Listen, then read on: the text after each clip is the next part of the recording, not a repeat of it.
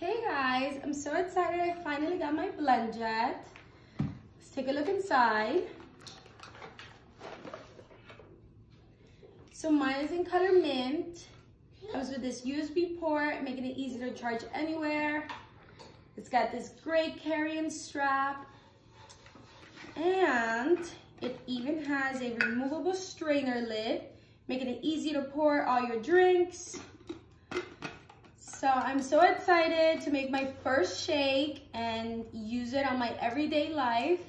So swipe up to get yours.